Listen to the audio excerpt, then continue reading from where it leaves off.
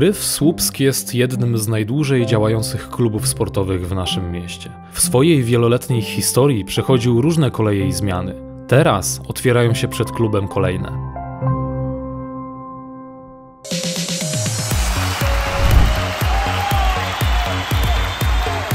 W trakcie wakacji w lipcu doszło do wyboru nowych władz w klubie sportowym Gryf Słupsk. Ze stanowiska prezesa odszedł Paweł Kryszałowicz, jeden z najbardziej utytułowanych zawodników i piłkarska legenda ziemi słupskiej. Nowym prezesem został Mirosław Lewandowski.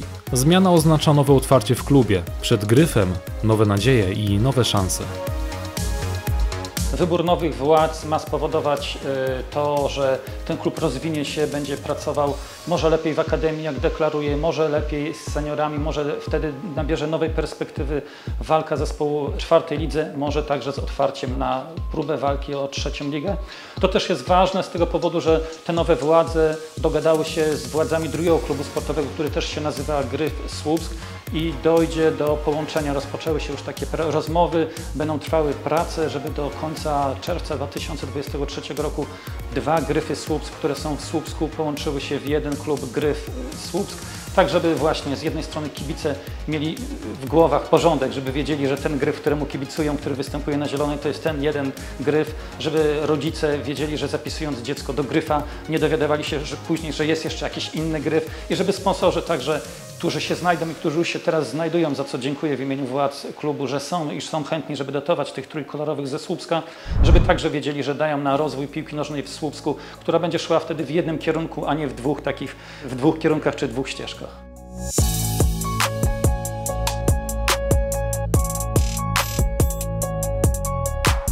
Jakie są plany?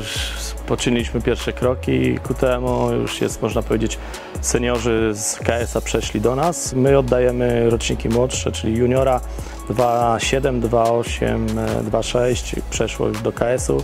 Oni tam budują sobie drużynkę, żeby pograć jeszcze. My tutaj mamy wszystkich seniorów. Ulokowaliśmy ich w pierwszym zespole, czwartej lidze, w rezerwach. Część chłopców zgłosiłem do ligi juniorskiej, do juniora starszego, żeby mogli się troszeczkę ograć, żeby nie było takich sytuacji, że będą tylko przychodzić na treningi, a nigdzie nie będą się ogrywać.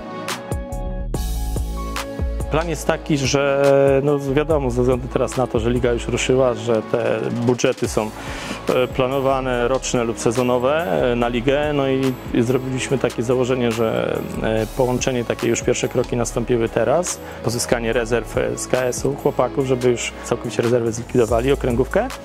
I drugim założeniem jest takie, że już od stycznia będziemy się starać jako jeden klub o dotację z miasta, a po zakończeniu rozgrywek, czyli 30 czerwca już całkowicie chcemy, żeby istniał tylko jeden gryf.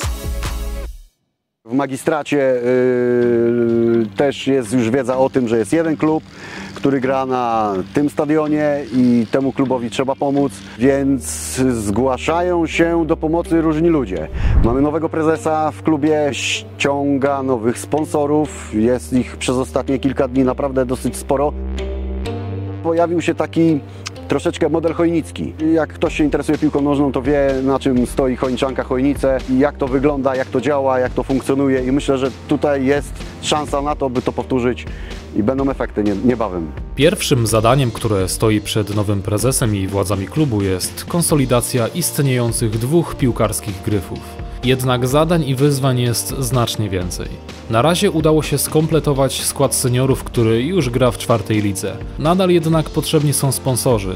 Prezes Mirosław Lewandowski już przyciągnął pierwszych sponsorów i liczy na kolejnych. Postawił sobie zadanie, że jednego dnia pozyska jednego reklamodawcę. Ma nadzieję, że niebawem zabraknie miejsc na stadionie, aby wywieszać banery. Boję się, że może zabraknąć miejsca z tyłu na biletach albo nawet na plakatach, bo naprawdę dużo ludzi otwiera się tutaj, bardzo są pozytywnie nastawieni na zmiany, które nastąpiły. Znają nas troszeczkę e, z innego stowarzyszenia, wiedzą, że te pieniądze, które były tam wkładane, nie poszły na marne i chyba to jest takim kluczowym e, sposobem na pozyskanie sponsora. Nie chwaląc się tak, założyłem sobie minimum jedną umowę dziennie i jak na razie to realizuję.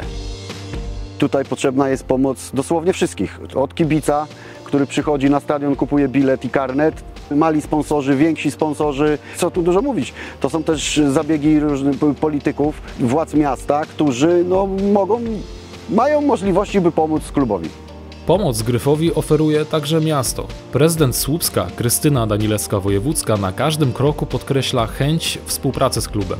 Osobiście pośredniczyła także w rozmowach między władzami obu Gryfów i aktywnie uczestniczy w konsolidacji. To jednak nie jedyna pomoc miasta dla słupskich piłkarzy.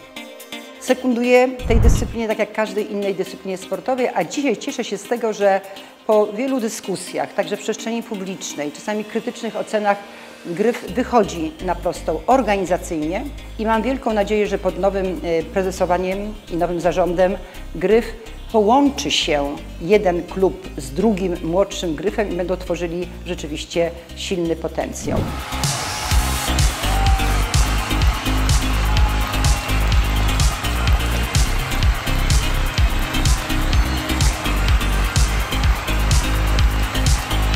Na pewno miasto będzie mocno wspierało klub piłkarski Gryf, bo nas do tego zobowiązuje tradycja. Przypominam, jedna z najdalej, najdłużej funkcjonujących dyscyplin sportowych w powojennym Słupsku.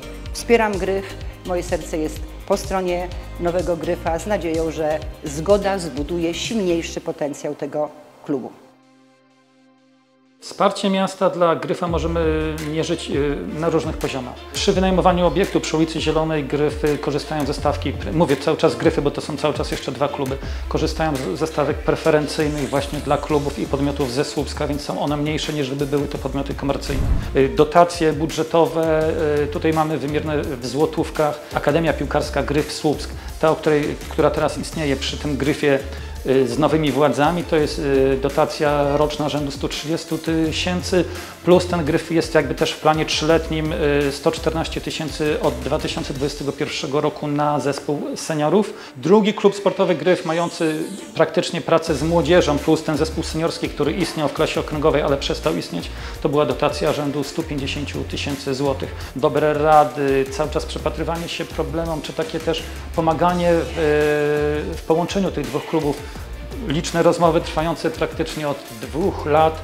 To też jest jakby takie wsparcie miasta, a może też pokazywanie, że miastu zależy na tym, żeby był jeden silny gryf, żeby mógł kontynuować te tradycje, które słupska piłka nożna przecież ma od tego 45 roku. Formą wsparcia słupskiego samorządu dla piłkarzy jest także stadion przy ulicy Zielonej. Obiekt przechodzi stałą modernizację. Między innymi niedawno zostały przesunięte bliżej bramek trybuny, Zamontowano nowoczesny system nawadniania murawy.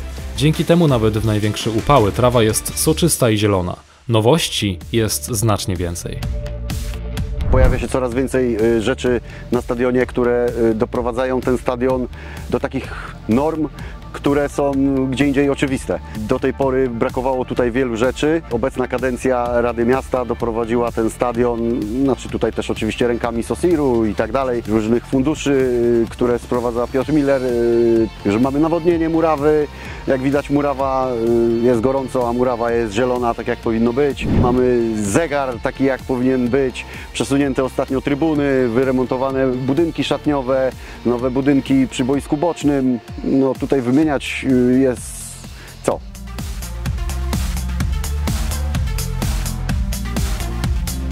Ostatnio tutaj byłem z radnymi